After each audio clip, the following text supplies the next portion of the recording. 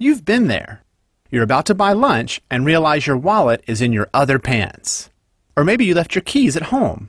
The problem is organization. You need one place for everything, like a magic pocket. Putting something in the magic pocket means it's always there, no matter what you wear or where you are. The same thing is true for computers.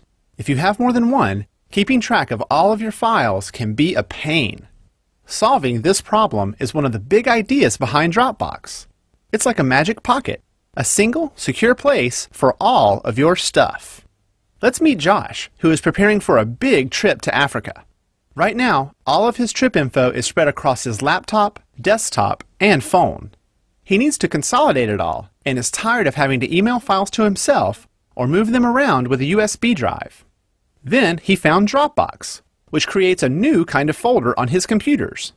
These folders work hard to be exactly alike, even across Macs and PCs.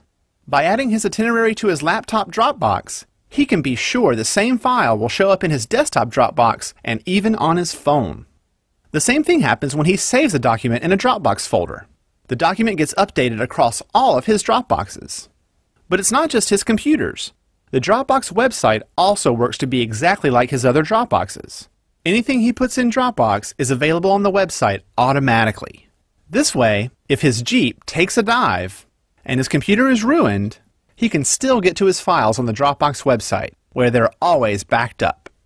As it turns out, Josh's Safari was a success, and his laptop made it home with lots of videos and photos to share.